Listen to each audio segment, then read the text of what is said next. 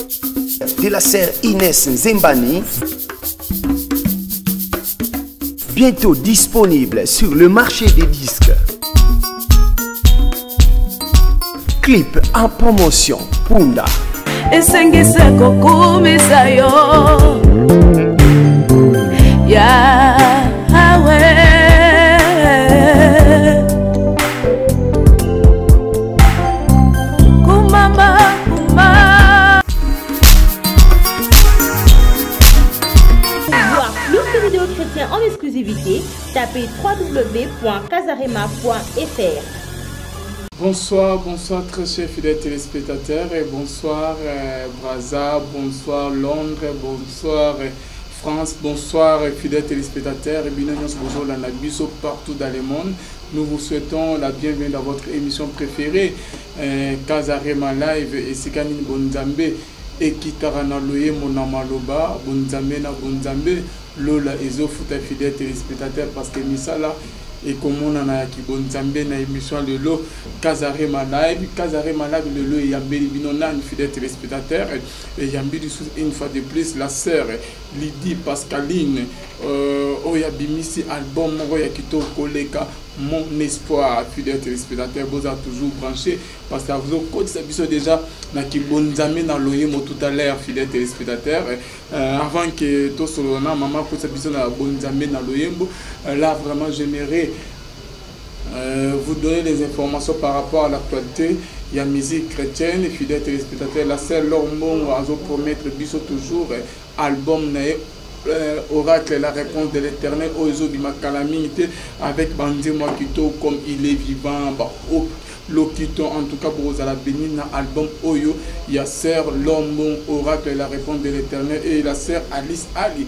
azelisi bino kaka bozala toujours poser parce que bozozwa kala mingi te album ya kitoko pe makasi koleka ya sœur Alice Ali l'aveuglement de Dieu et le frère Papi Konge na ye pe azotikala sima te azo promettre biso toujours que azo euh, kala mingi te bozozwa album na bino l'accomplissement et kote kuna toujours namoni maman na biso Eh Perside et Mangando toujours azo preparer pa album na ye ya sika oyo ebengami na kombo ya Je verrai Jesus. Merci na bino nionso tout boza branche. Merci na Pasteur Dozy, merci na pa, na prophète Samuel Panz de l'église Arbre de Vie. Merci na Philo Mukwa ya Motema Bivens de Homo depuis Londres. Merci na Wivine Kamwanga, na Wivine Kamwanga Motema ya mon grand frère oyo nalinga makasi ogi katala lombe kuna na paris en tout cas kuna na panama ogi katala lombe ah, motema ya wivine kamwanga mpe na bino nyonso tu bozolanda biso fidèle téléspectateur bozala branché bonzambe ezokita lelo na loyemo na maloba avec la humble servante de l'éternel sœur lydie et pascaline en tout cas mingi ya koloba eza te avant que tosola na shalom la servante de dieu nakolingake mama avant que tosolola mm. na bandeko nyonso tu bazolanda biso en semete mama eh, na bapaster nyonso tu basepela na miziki ya kibonzambe bapaster oyo bapria vraiment ya solo solo na kibonzambe ya makasi là je vois le pasteur feza misia kuna na zurich oyo vraiment azosala fierté ya bapaster nyonso tu na kibonzambe l'homme loyal papa nzambe apambola mama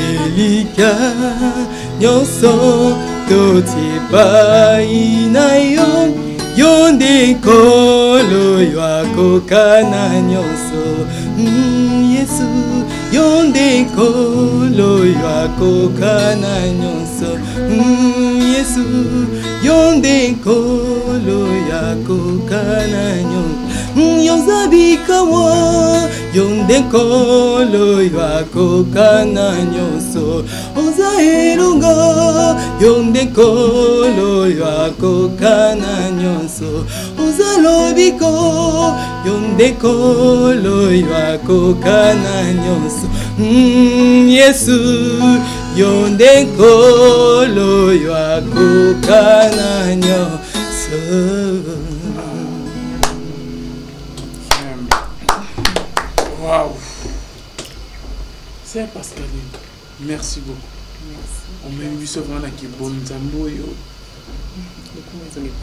amen c'est avant que nakota na na question na ngai la servante de dieu mm. un mot voix na ebandelo obimisi wana on dirait soki ke oza ya kolala okoyeba on dirait ke c'est comme si lor mbongo nde moto azoyemba to nini bon soki nalobi na, na, mhm. nalobi que na, na imitaka ye naza mokosi mhm. soki mpe nabi na imitaka ye te naza mokosi na travaillaka bandeko nyonso babimisa mhm. libongo ozomonaki hmm, ah pende ozwa ye plus ah, eh, vraiment en tout cas parce que modèle oyembeli en tout cas mais nzembo titre nango nini yesu akokana nyonso yesu akokana nyonso ok avant ke tokota euh, titre wana rame la servante de dieu namoyoki na nzembo ozobeta bisolo mm. euh, tosengi bikamwa mm.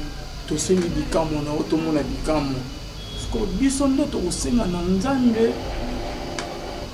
asalela biso bikamwa na ye to tokozela na temps oyo esengeli ke nzambe asalela biso bikamwa antuka papa livine merci mpo na question nzambe asalaka nyonso na temps marqué mais lokola titre yango mosi eza espoir na baka moto aesperaka atikalaka bouche be te moto mm. aesperaka abondelaka toujours yango na nzembe nayembi tozali tosengi tosengi bikamwa to mm. tozosenga tosengi me nzambe ekosala ya nzambe ezalaka na volonté na ye moko nzambe biso tozana tozo prier mais po nzambe asalela yo yo ozela temps donc mais yo continue kaka koesi na kosenga kaka parce que wana na loyemo ozosenga tosengi likambo malgré ke nzambe asalaka na temps na ye hmm.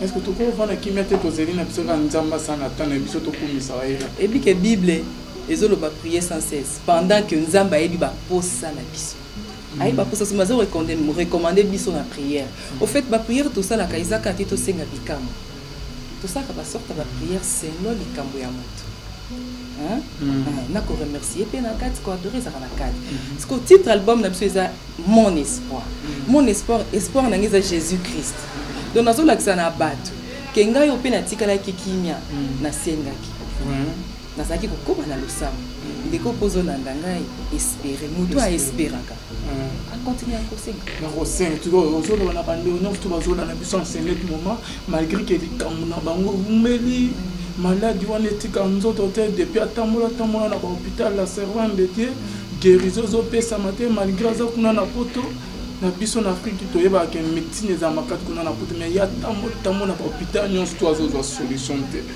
en ce net moment azolongola servant de dieu kota na motema face wana eza ya na motema nini okoyebisa ye mpo na ndeko ozolanda ngai nayebi koza kolanda ngai oza branche tika nayebisa yo na vie oyo tokutanaka kaka na baproblème baka ezalaka mais ka oyo ya yo bien aimé eza mokie liboso ya jésus christ parce que ata soki otambolaki na bahopitaux tika ngai nayebisa oke baminganga Traitement bapesaka ezalaka mpo na kosunga mais lobiko eutaka mpa Nzambe. C'est Dieu qui guerit.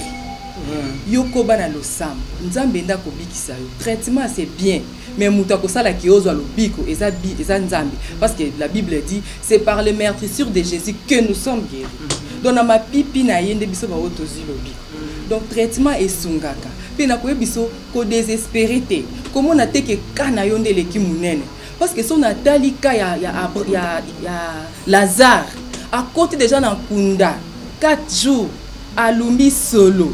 Yesu atunaki te ntango bayaki koyebisa ke moninga no Lazare akufi, atunaki te ke oh, akufi e abeli nini to nini ememie na liwa. Yesu atuni mbala moko botie ye wapi?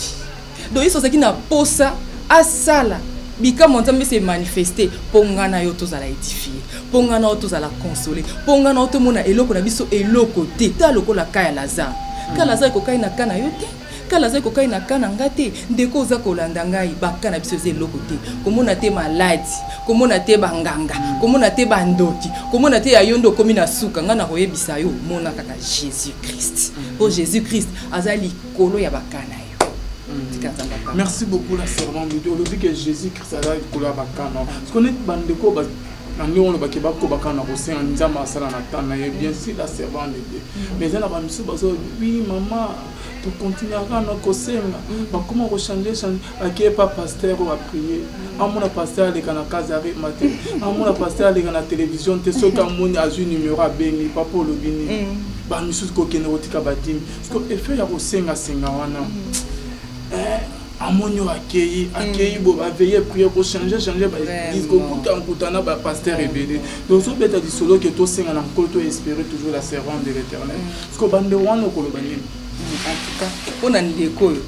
o otamboli tamboli kola koluka nzambe yango aza wapi akosalela nga mokolo nini nga nakoyebisa yo eza mabe mpe kochange change bapaster baeglise oke okoto batie loboko esimbi te oke boye parcekewana eza likambo ya conviction ya moto parce que ngai nayebi esika natelemela mm. yango nazobisa mpe ndeko esika otelemi telemaka wa mm. parce que boni pagno ecirculaka mpo mm. pagno ekóma na esika na yo esengeli ozala ya ofana ata yesu ntango aleisaki bato bato bazali ya ofana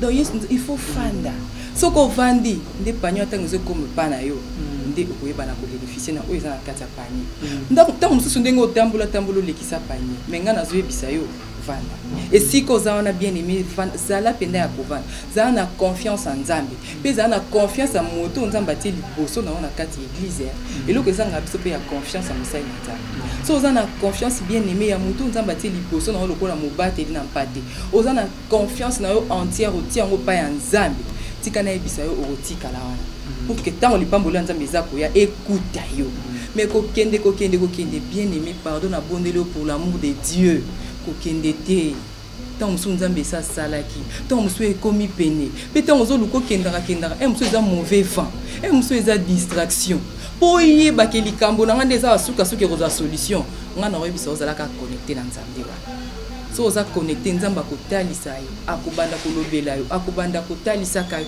etango ntango nyonso oza kozwa barevelation kouta epai na nzambe ekomatisa esu foi na yo frère afi ekomatisa foi na yo okokemba na kondima omonake natikala ka awa ole nakende kolukaluka mpo ete nzambe asalaka na ye mpe akosala vraiment obeti lisolo ya bartime mm. bartime asali lisusu nini na nzembo yango la servante lokola Bartime aveugle pe andia oyo donc aveugle Bartime ye amataki kaka aveugle Bartime komata wana ezalaki na mosuni te voilà ezalaki losambo amata aluka nzambe mm. ndeko oyo ozolanda nga luka kaka nzambe celui qui est capable de prier bien aimé est capable de tout et un homme de prière n'échoue jamais un homme de prière ne sous jamais mata na losambo yo mata kaka oyo oza wana lokola kazaka wana olati wana longola mata na losambo bamasumu wana ambiance ya mokili makambo nyonso ya mabe bamitungisi makanisi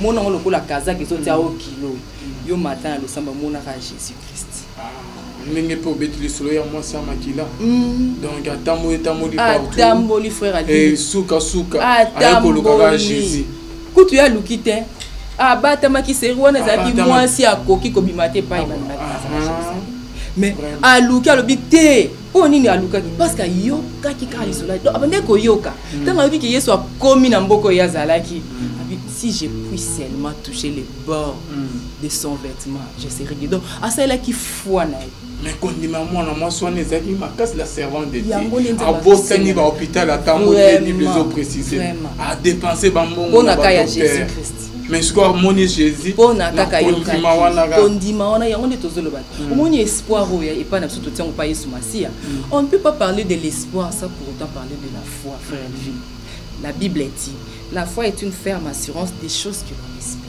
Mm. To esperaka komona makambo ya Nzambe na ba vie na biso. Mm. Oyo eza rien d'autre que ba promesse ya Nzambe na vie na biso. Mm. Siko yo ozo espérer bien aimé. Tika na sisa frère. Yo ozo espérer. Oza na kondima te nde. Mais la foi sans œuvre c'est une foi morte. Kasi yango wana ozo komona bien aimé lokola mitungisi lokola malade.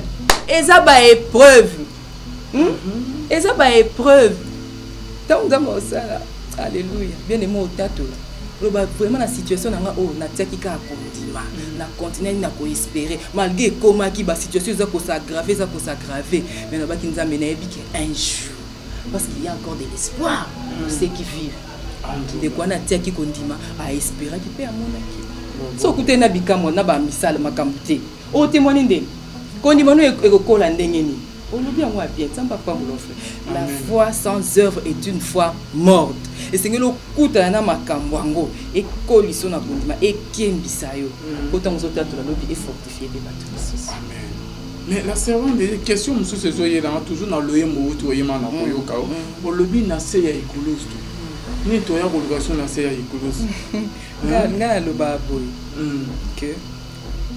mpo nzambe apambola yo hmm. eza mpenza processus mpo nzambe apambola yo esengeli mpe omema kwa eh.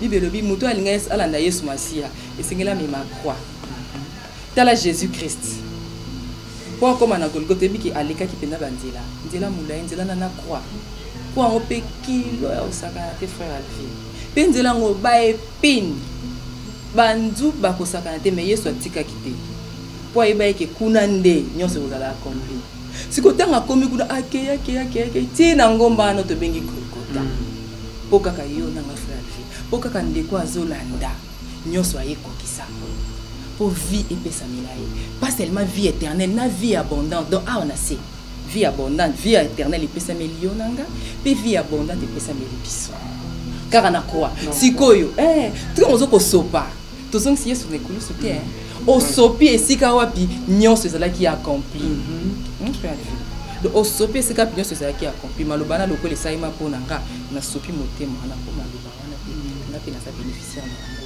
lobi na tata ah. nde olobi na se ya ekulusu mhm. vraiment ekulusu wana eza awa te eza kuna na ngomba ngomba na epai nyonso ezalaki ya accompli ngomba wana eza likolo lelo ntango nzambe akosalela yo ndeko ozolanda nga ntango nzambe azosala otatola donc omonaki omati te hmm. na sasi waomoni amen nzambe apambola lisolo ya 9e heure na seconde te molili ekoti hmm. eh, bandeko babule satana abule keji ekomi na suka orke abosani ke 9e heure ezali esika lumière ekoya et bible mpe ezo précise sous na acte la servante de dieu il y a un jour jean et apôtre pierre mhm. toujours na 9e heure mhm. bazomata na temple bakutani mhm. na ndeko adaki bwatene prochainement il faut tobeta lisolo ya 9e heure merci beaucoup la servante de dieu mais nalingi kokotisa lisusu biso na mwa kibonzameli lisusu toujours na nzembo na neti okuti oexplike yango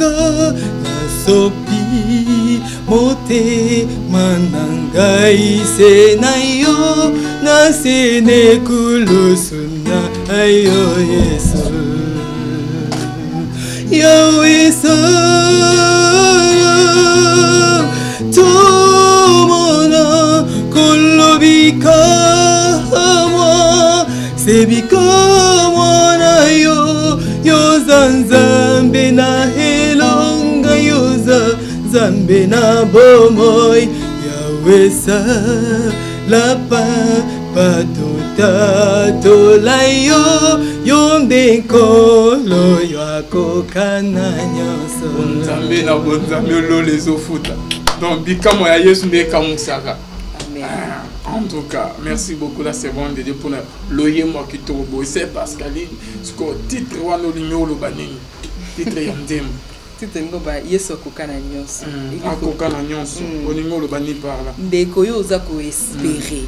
tika nayebisa ko ezo espere en vain te mm-hmm. parce que yesu akoka na nyonso yesu akoka na nyonso nabeti lisolo ya bartimi mosengi kaka mandi akosakana te mpe aveugle azomandi na kiaveuglement na ye me mokolo yokaka lisolo ya yesu abibomemanga kaka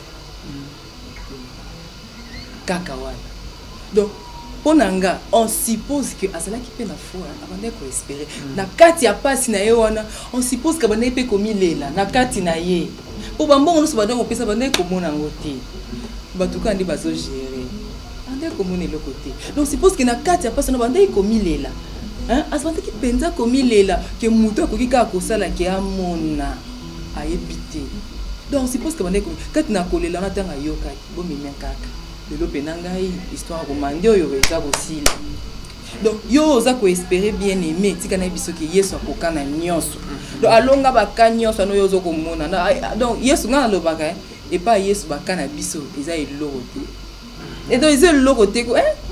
eloko te frère elvi donc eloko te ataloba eloko te donc nao minimiser ka nyonso mpo ntango naotala ngambo koto ngomba ngambo koto ngomba pharaon na nsima mer rouge liboso na bi nzambe me nzambe ayebisi nga tikala kimia nga na kobunda mpo na yo ndeko oza kolanda nga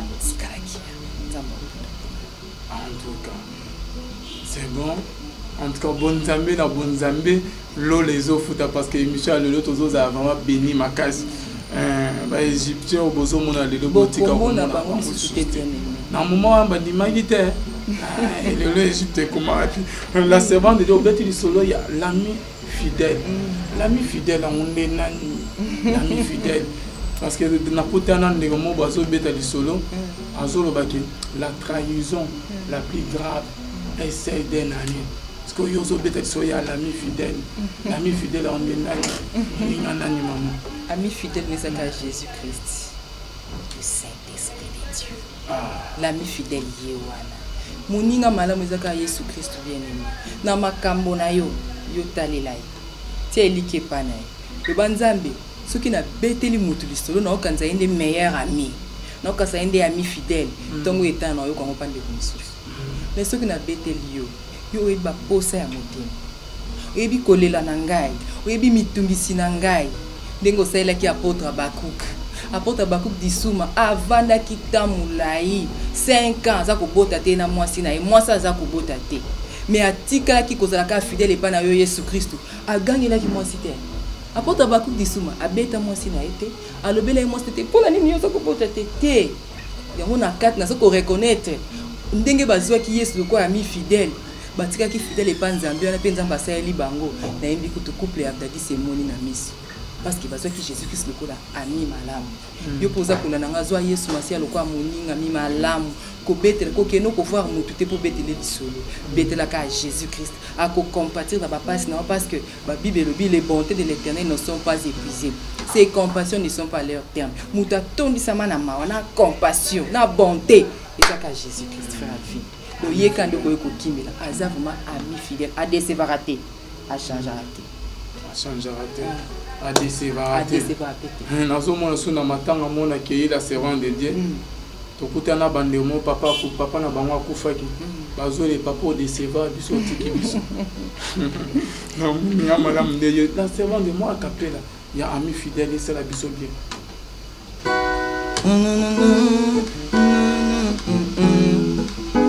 L'ami fidèle, c'est Jésus-Christ, mon confident, il est tout pour moi.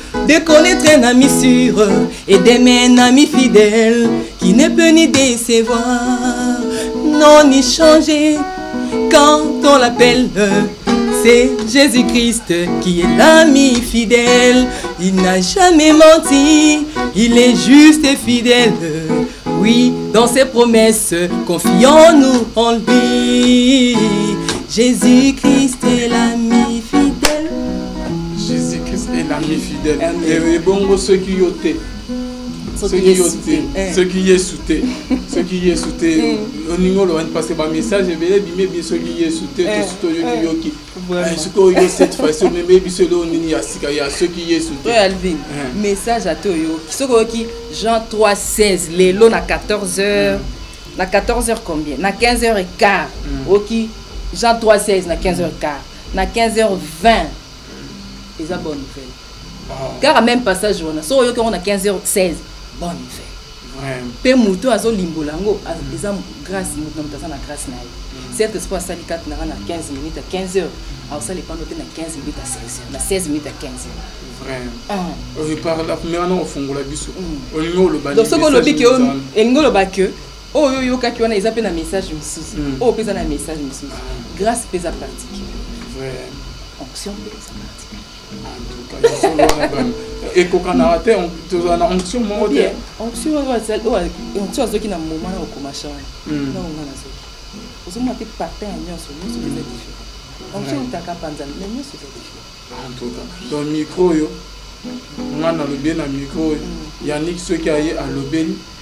donc frère cédric ayebi ke ah, yo koma ozango na ndenge mosuni te onction na ye te onction na ndeni eh. oyo olobi ma makambo eh. okobimisa eh. mpe kozala beni na libo me makambo wana abimisi bandeko bapamani yaniki mpe wenge aye abimisi naye makambo wana Mais onction est différent, n'est-ce pas Amen. En tout cas, merci beaucoup la servante de Dieu. Cette fois-ci, tu as gagné. Donc, on a tout baka que ce qui est souté wana, hmm. ezaka que na kata ko espérer. Hmm. Bien aimé oza likambo oza na wana, kanisa yeso kota uta na yo. Hmm. Tia comme ce pas ezali, ozali. makambo boni boni olekana ti okóma lelo sikoza donc soki yesu te okomi yo te eboka mpo na likambo oyo vraimen odésespéremaladi oyo bien aimé ambiance osala ebika ambiance osala mema bato ebeye na kufa fo ya lvi ambiance tosala mema bato ebeye na kufa mais lelo vrai ambiance dans le seigneur mm. mpe biso toza na bomoi tolekaki bango na eloko na nini nzambe oyo kaka ayebaki ke frère alvini yo mpenza elomo eza kati na yo mm. il faut bato bayoka faut bato balanda yango azosala ke tozala donc soki ye te komona eloko no eloko te eloko te eloko te eloko te tolanda nanu jésus est vivant ah. Avant tout là, Jésus est vivant. Mm. Tozo sala biso no émission normale. Mon frère c'est dit aloba ke faut moi identité wana eza. obeti lisolo ke ambiance oyo biso tosala neti yo ambiance nini osala amen osali bien nde otuni tika nayebisa yo moto abotamaka chrétien azalaka te oh ya solo on devient chrétien on devient après avoir reçu Jésus comme Seigneur et Sauveur. Vous avez compris mon mot Madame Naolo, Bana frère Cédric, vous avez l'anda, vous avez contredire. Oh. Mutu soka bota mito bota makana lisu mwana ya Adam na Eve. Mm. Soki mutu a comprendre que te, je dois recevoir Jésus dans ma vie comme mon Seigneur et mon Sauveur. Mm. Et que ozaki na lokuta, otika lokuta. Ozaki na moyibi, otika moyibi. Moyibi eza bien c'est. Et ba ah. moyibi eza bien. Eh ngam na le funda ke iba. Letu eza lokuta to moyibi. Lokuta. kanda okanda mpena kosangana te emonanaka oh. ata kekibonzambe ekoma emonana ezalaka lisusu te ah. ezalaka lisusu te kanda omona ngo normal nzoka alo frère alvin eh, yango te eh, wana eza mpona omotive oyo obimisi nga te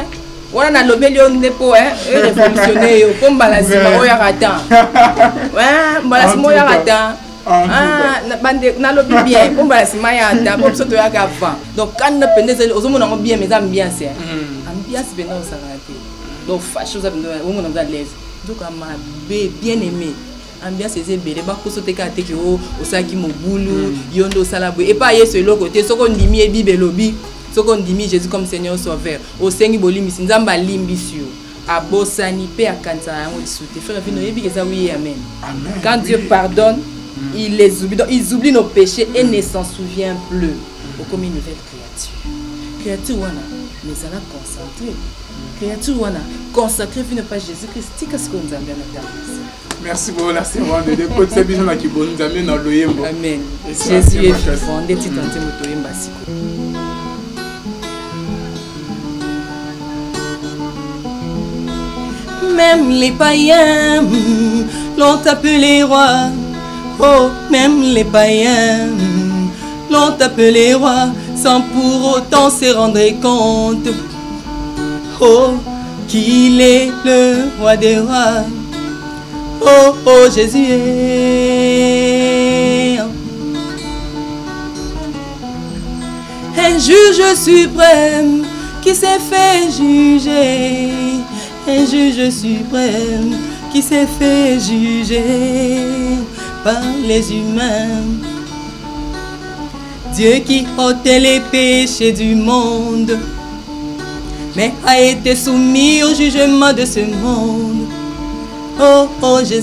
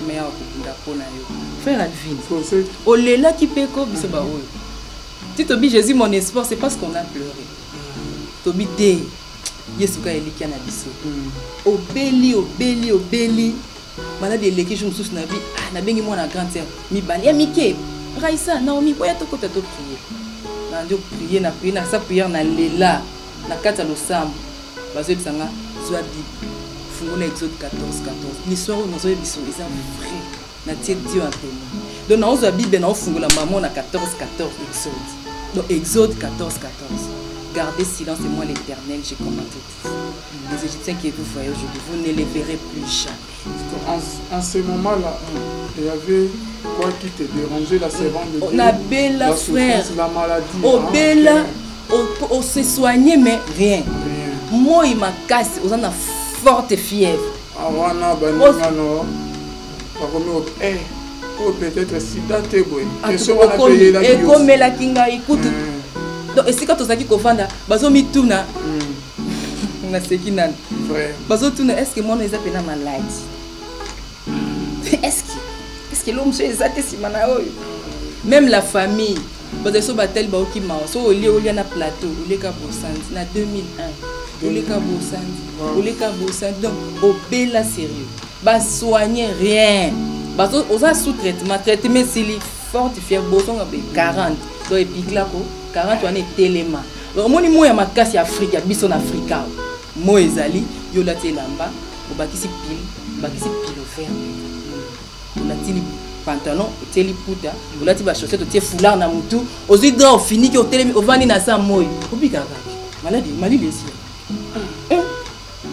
donc obeli donc nzi non nzambe abie parce que je me rappelle na moment wana na ba 2001 wana na mm. servant de dieu mm. donc euh, lorsque babanga koyela o biloko olie moke bosanzi mm. il y avait d'autres personnes bande mosusu bato baa obule ke ozali na zemi tala se ya hypocrite oyo nzambe oyo eza wasa teaomoki ezemi oyo ezowumela boye ndeni baye kochange langage oyo fo ezalaka sida mm. donc bandeko na nde nabika bakoma kotatola mpe nazwi bakamarade na nga moko ayo otala nga na sa malade nayebi se bon nabeli trop mm. nabeli bakisi trop cette fois-ci na jeune ah.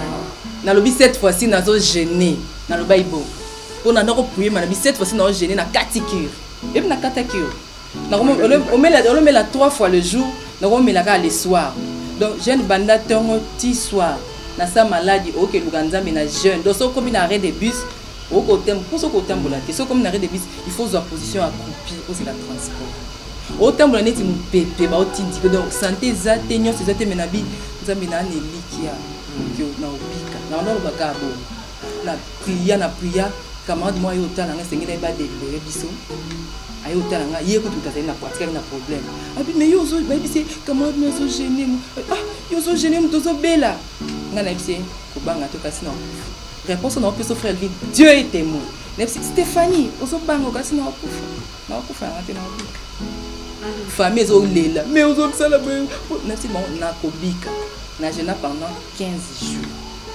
et dès lors o oh, aspirine o oh, soki paracetamol o oh, kinini na témoignaka mpa bafrère baza témoin frère na témoignaka nayebisa bango façon na bela natiaka nzambe ana epreuve na bi nzambe nayebi koza na bomoi lokola bisinga natikalaki mama je vais continuer avec la prière et ntango na priya nzambe ayanoli makasi ebandi kozonga ti lelo o oh, paracetamol o oh, fièvre o oh, paracetamol eh frère vie Alvin nzambe aza vivant ah, ondike lisolo obeti to alvin oyo nabeti mpo tokabola na ndeko azolanda ngai mai soki nakoti na bosuki ya maladi wana nabeti ndenge ezalelaki na façon nakomaki yo kutu oyebi oyoka mawa ndeko yo so okomi na mpo moko omeli bakisolemo okomi osenga liwa lisolo sere abeti tosolo na nsima ya émission kana suka ya émission voilà très cher fidèle téléspectateur tokomi na suka ya émission na biso Une très belle mélodie autour là qui bon Nzambe makasi qui avait enlevé la pierre du tombeau pour que Jésus sorte.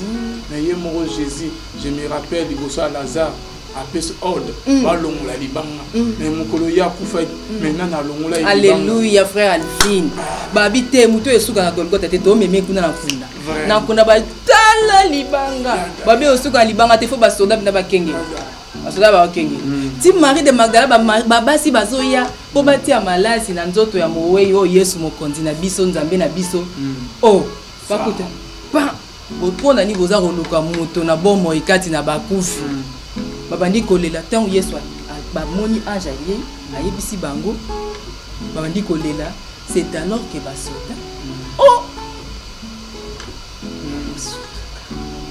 ya kosutuka biso mpenza toveya tosenzeli me libanga elongwe ndenge nini tala basi bayoluka yesu aza nde te est ce que ozocomprendre mystère miracle eboko na likambo na yo bien aimé hmm. en tout cas oyo apôtre abakuka alobi ba misusu baza nao na nzela ya emaus esengeli bolongo que dieu te bénisse l'homme de dieu esika ozali longo nde na nzela wana papa en tout cas bonzambe na bonzambe lolo ezofuta la servant de dieu euh, merci vraiment beaucoup d'être venu merci na bando nyonso to balandaki biso en tout cas tokomi na suka ya émission vraiment ngai nake opesa mbote na abdadis production Josue Grace Disuma, Mama Daniel, Apotre Abaku Disuma, Nzambe apambola bino. Mbote na pesi na mobali na ngai Papa Roger Mbumba. Mbote na couple Manzambe seka bazolanda vraiment Nzambe na nga akota likambo na bino apesa solution na ba problème nyonso eza ya bino. E bandeko nyonso balandi biso ya misika ya pene de partout. nzambe na nga atika loboko na ye ezali kola baprobleme na bino nzambe apambola apambola apesa bino kimia oyo moto na mokili akoki na kopesa te mbote kende epai ya beau frère na ngai lucas na, na, na angola ikele basi nzambe na ngai apambola yo mbote pa papa fredi olela na australie mbote pa papa picho kititi na canada mbote pa eleni chonza papa, papa king mama rema nzambe apambola bino mingi apambola papa arthur na allemagne nzambe apesa bino mpenza oyo ebongi mpo na bino mpe akota mikimisa bomoi na bino napesi lisusu mbote na orchestre mobimba oyo ya biso sika toza koevolue le temps de dieu nzambe apambola bino mpe merci na bino na équipe technique Merci beaucoup la sœur Barsaline. Pour aujourd'hui c'est fini avec la sœur Pas Pascaline, Lydie Pascaline. Merci beaucoup la servante de Dieu. Merci beaucoup papa. Bye bye, à la prochaine fidèle téléspectateur.